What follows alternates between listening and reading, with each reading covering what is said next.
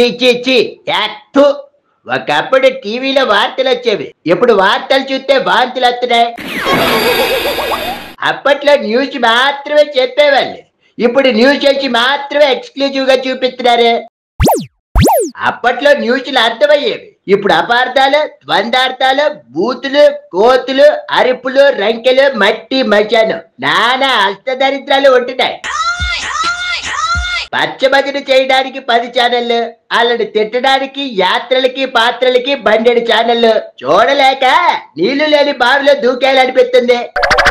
ఆ గోల నజ చూస్తూ భరించి ఓపిక లేక టీవీని పాత సామాని కోట్లో ఉల్లిపాయలకి అమ్మేయాలనిపిస్తుంది న్యూట్రల్గా ఉండే న్యూస్ ఎక్కడ దొరుకుతుందో ఏంటే?